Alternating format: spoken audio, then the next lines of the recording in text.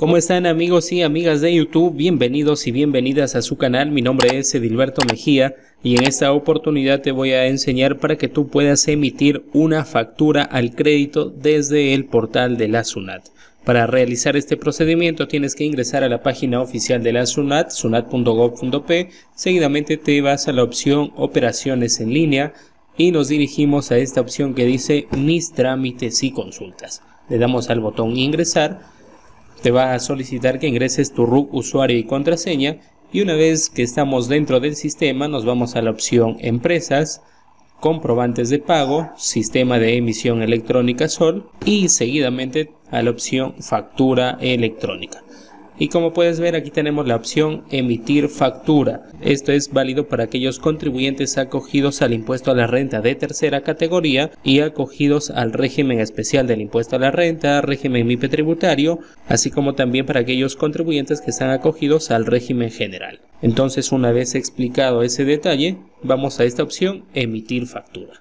Bueno, aquí nos aparece una lista de opciones. En este caso vamos a emitir una factura al crédito. Marcamos aquí la opción al crédito. Luego nos pide si es que está sujeta al régimen de detracciones. En este caso, no. Indique si es una factura de exportación. También indicamos que no.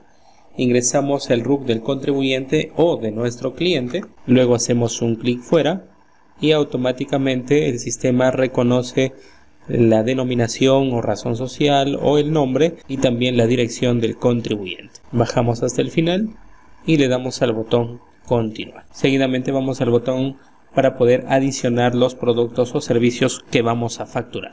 Damos a adicionar, aquí marcamos si es un bien o servicio, en este caso es un bien, aquí marcamos la unidad de medida, hay diferentes opciones, en este caso lo voy a dejar solamente como unidad.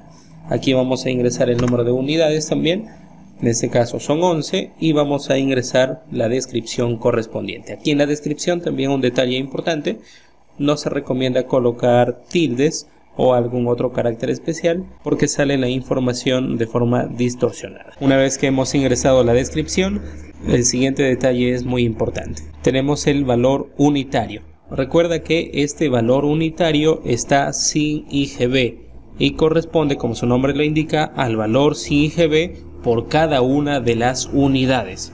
Por lo tanto, si usted quiere convertir un importe total a un subtotal, es decir, sin IGB, lo que tiene que hacer es dividir entre 1.18. Por ejemplo, vamos a suponer que el importe incluido IGB es de 200 soles. Al dividirlo entre, aquí en la parte superior, entre 1.18, le damos al botón igual, tenemos este importe 169, 49, 15, 25. A nivel de 4 o 5 dígitos podemos considerar aquí en esta parte para poder obtener el valor unitario y finalmente aquí en la parte final podemos ver el importe total de la factura.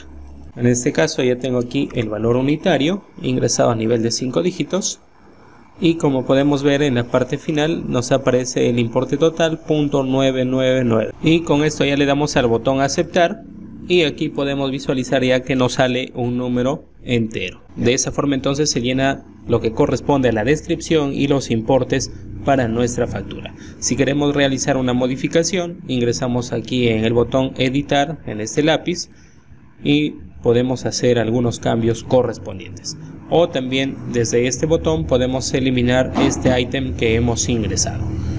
Finalmente le damos al botón continuar. Aquí de ser necesario se agrega algunos datos relacionados con la factura, los documentos relacionados, información del crédito. En este caso vamos a ingresar de forma obligatoria y aquí también tenemos lo relacionado a la información al crédito, que es un dato que tenemos que ingresar de forma obligatoria porque nuestra factura estamos emitiendo al crédito. Ingresamos a esta opción. El monto pendiente de pago en este caso va a ser cancelado en una sola cuota y el importe total es de 5005. Le damos al botón agregar cuota.